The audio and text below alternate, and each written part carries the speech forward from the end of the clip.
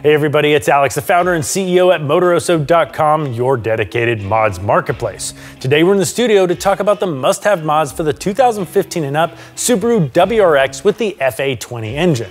Now, since the early 2000s, the Subaru WRX has been an extremely popular car among enthusiasts because it's affordable, makes reliable, great horsepower, and has all-wheel drive performance, and Subarus retain their resale value exceptionally well.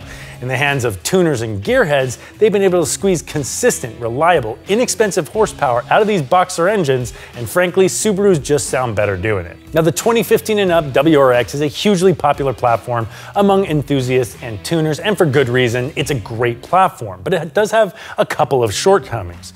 Now, the previous generations of the WRX featured the battle-tested EJ series engine, which could be tuned past 450 warlocks and take its beating like a real man.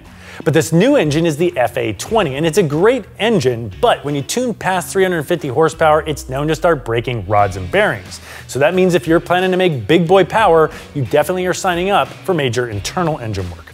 Now it's also known to blow out throw out bearings in the clutch assembly, even if you haven't tuned it aggressively, and the suspension leaves quite a bit to be desired. So our first must-have mod is in the suspension department. As with most Subarus, the rear sway bar is far too dainty to deal with the body roll, and it is no exception in these new big body style WRX. Even with all-wheel drive, that lack of torsional stiffness can lead to understeer. Oh, so understeer is when you're starting to go through a corner and you start pushing the front and you're missing your apex. That's that's understeer. And there's all that stuff that you're worried about hitting over here and your butthole puckers up all tight like you're trying to crack a walnut and it's, it's just no fun. Also, why do you have a walnut in your never mind, let's, let's just keep going.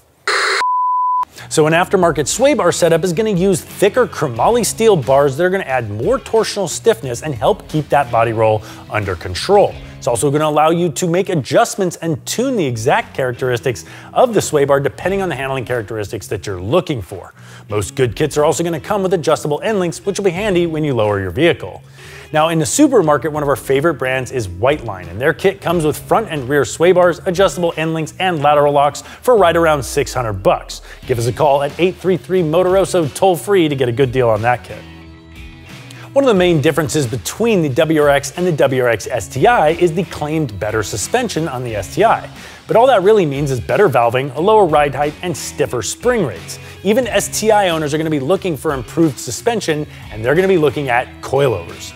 Now, coilovers are going to allow you to adjust ride height, spring rate, damping, and they're going to allow you much more control over the performance of the suspension, as well as the styling that comes with being able to lower the vehicle. Coilovers are one of those mods that's actually both styling and performance.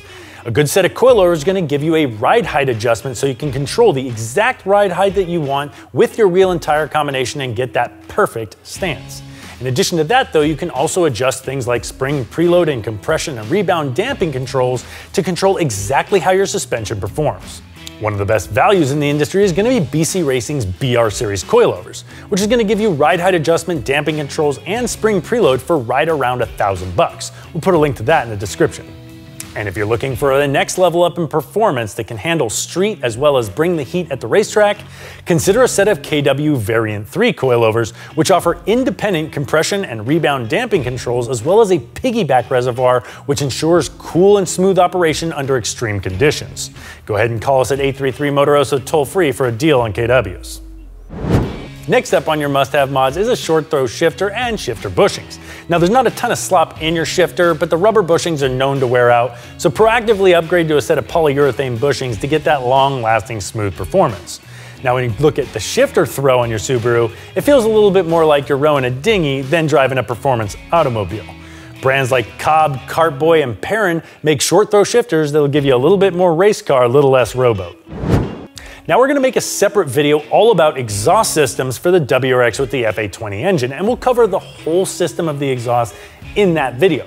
In this video, we're only gonna talk about the things where you're gonna get the most bang for the buck, and that starts with the headers. Now, with the headers, you're gonna be deciding between keeping that classic Subaru rumble with the unequal length headers or boosting your low end torque by going with equal length headers. But in both situations, you're gonna be getting more air into the turbo and seeing a major bump in horse puppies. A little on further down the line is going to be the downpipe, also sometimes called the J-pipe. Now this is going to help exhaust gases get out of the turbo much more quickly, and that's going to unlock hidden power in the low end of the power band. And this is honestly one of the biggest bangs for your buck, and it'll make your Subie sound quite a bit better. And yes, Karen, by better we mean louder, so I hope you have double pane windows. And of course, there's several brands out there making downpipes for your WRX, and we'll put links to those in the description. You're gonna find the Cobb is gonna be one of the most popular options because of the ease of the off-shelf tunes. The Invidia is gonna be a little less expensive than the Cobb and have a little bit more raspy sound to it. And then the GrimmSpeed is known for offering the least amount of drone. And now that you started playing around with engine performance, it's time to invest in a tuner module. This is an absolutely critical tool to have in your arsenal because you need to be able to maximize the gains that you get out of the mods that you've installed so you haven't wasted your money while also keeping your engine running clean and reliably and keeping that air fuel ratio safe. And you guessed it, Cobb Access Port. As we mentioned at the start of the video, one of the known issues with this vehicle is the throwout bearing failing up in the clutch assembly. Now this is one of those things we think you should get ahead of because we've heard cases of the clutch throwout bearing going out within 20,000 miles of normal driving without even any tuning. So this is something that you can expect to happen, especially if you add more power. And if you're going all the way in there, you might as well do an ACT clutch while you're at it because then you can handle more power and get better clutch feel as you boost the power in your WRX. We'll put a link to a clutch in the description.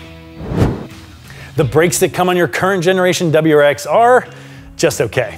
So you can definitely make some improvements in that area as well. And 70% of your braking forces come from your front brakes. So a cost-effective solution is to replace the pads and rotors with something like the StopTech Street Axle Pack, which is only going to set you back about 300 bucks and you'll see a marked improvement in braking performance. Now you can also add for another $100 stainless steel braided brake lines, which are gonna give you more braking force and a much firmer pedal feel, and we'll put links to both of those in the description.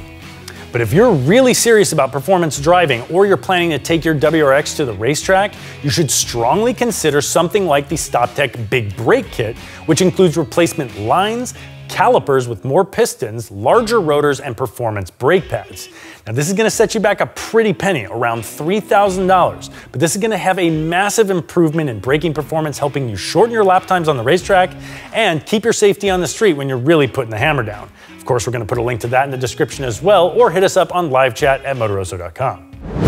And of course, no build project is complete without upgraded wheels and tires. And this is a mod that pretty much everybody is going to do. And there are literally thousands of options of different wheels, sizes, and tires. And the designs are very much a personal thing. But we think on the WRX, this is one of the most important things, maybe more important than any other car, because Subaru did a really weird thing for some reason they didn't update the wheel and tire sizes when they went to this big body styling. So the wheels are too small, the offsets are too far in, and they can't fit a big tire. Now, we can't tell you what sort of style of wheel to run. Again, that's gonna be your decision. But we can encourage you to run an 18 inch wheel with a maximum width of 9.5 inches. That's gonna allow you to run up to a 285 40 R18 tire, depending on your ride height. And if you want a lower sidewall and you want the car more slammed, you're gonna go with something like a 285 3018. Now we have literally tens of thousands of different options of wheels and tires on Motoroso.com, and we're happy to help you find the rubber bands that are gonna work for you.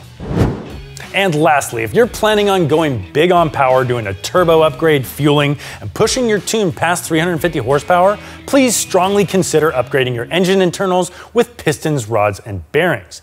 The reason for this is because, look, catastrophic engine failure out there on the road, it's not the end of the world if you blow your engine, but depending on where you are, it's probably not gonna be fun and it's almost certainly not gonna be safe. So if you know you're gonna tune that aggressively, why not get ahead of it and do it before you go boom?